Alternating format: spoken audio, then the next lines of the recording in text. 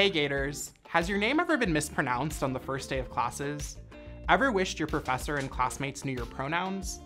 When someone pronounces your name incorrectly or uses the wrong pronouns, it can be tricky and awkward to try and correct people, especially your instructors and peers.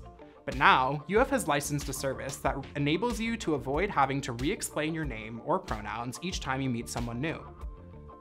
NameCoach is now live in Canvas. This tool is designed for students, faculty, and staff to record the pronunciations of their names for the reference of others. Interested in recording your name on Canvas? Click on the Account tab from the left-hand navigation menu in Canvas, and then click NameCoach Recording Tool. The first time you access the tool, you'll need to allow NameCoach access to your account.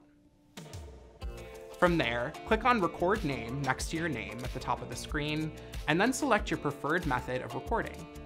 You can record through your phone, the online web recorder, or by uploading your own audio file.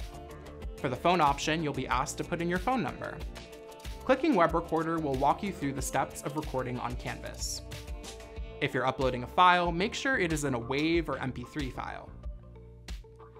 Instructors can access all recorded names for their students on the NameCoach tab in their course sites. Just enable the tool for your course and encourage students to use it by posting a course announcement. If you're unable to decipher the recording that's there, instructors can also ask individual students to re-record under Actions. Students can also listen to the roster of recorded names as well.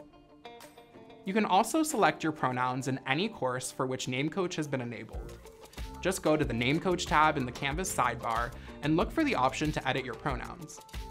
Pronouns aren't automatically shared between courses, so you can decide which class or classes you're comfortable sharing them in. Questions? More step-by-step -step instructions are available at it.ufl.edu slash resources slash namecoach.